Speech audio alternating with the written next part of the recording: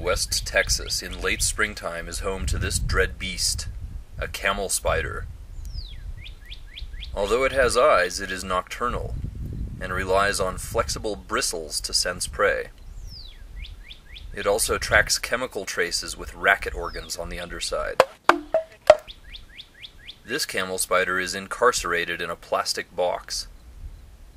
Although the arachnid is equipped with curved claws, it cannot gain purchase on the side of the box.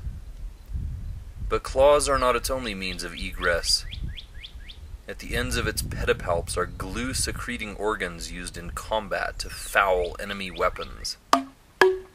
It now uses these to adhere to the side of the box and pull itself up. The glue is not perfect, however, and eventually the infuriated camel spider falls back down.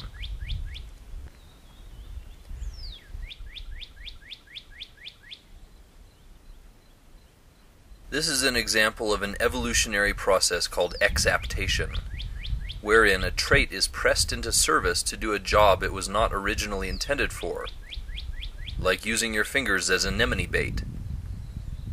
The camel spider in this video eventually escaped.